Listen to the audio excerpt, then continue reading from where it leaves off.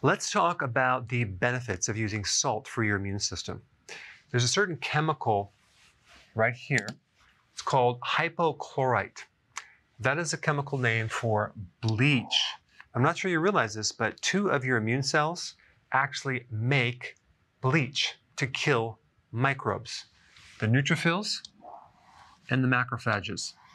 And both of these are phagocytes. And what does that mean? It means that these cells actually eat bacteria and viruses and fungus and mold and candida. So when they eat the microbe, they pull it in, they encapsulate the microbe, and they pour in chemicals. One of the chemicals they pour in is bleach. And guess how your body makes bleach? From chloride, as in sodium chloride. So it comes from salt. So if you don't have enough salt in your body, this mechanism or weapon used by these two cells uh, becomes severely compromised. So your defense mechanism is diminished. So hypochlorite bleach is a broad spectrum microbicide, which basically poisons the microbe. It'll kill bacteria within milliseconds. And it's much, much stronger than another chemical that these guys use called hydrogen peroxide. And as a side note, if these immune cells run into the unfriendly form of candida, they'll start dumping a lot of hypochlorite into the system to kill the candida. And certain reports indicate that it'll uh, release between 70 and 80% of the chloride reserve.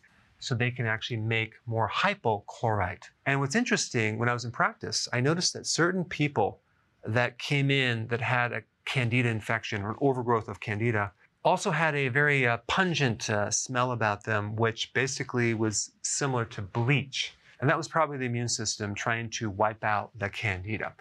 And as a side note, if you have candida, the most important thing to do is not to consume bleach, but to consume salt to actually help your body make more bleach, as well as bring your carbs way down to zero because candida lives on sugars and glucose. So now let's talk about what would cause a deficiency in salt. Of course, the obvious thing is not consuming enough salt.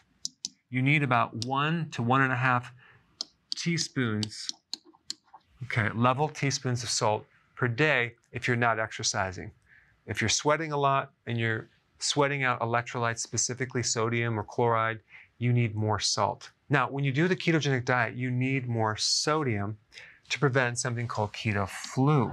Now, when you're deficient in sodium, you can have a lot of the symptoms that mimic the flu without being the flu.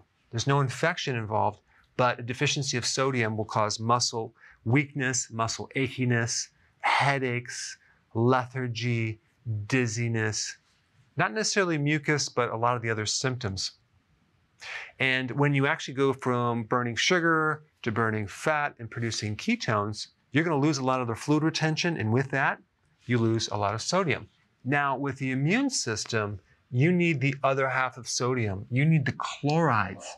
I think the chlorides are pretty much not really emphasized very much. We always talk about sodium, but I think this is a very ignored mineral.